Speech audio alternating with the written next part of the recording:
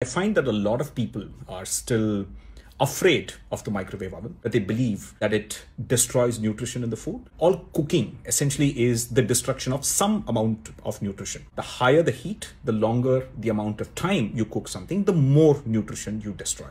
But deep frying destroys way more nutrition than any other form of cooking. Tandoor baking is cooking at exceedingly high temperatures. Boiling is going to destroy more nutrition. Microwaves, on the other hand, only heat water inside foods. You can actually argue of all these cooking methods, microwaves result in the least amount of nutrition loss. So let's get to the radiation. Consider this. The phone that I'm recording this in and the phones all of you are going to watch this video on is using microwaves to communicate with the cell phone towers. It's very low energy radiation. So people think radiation and they go Chernobyl.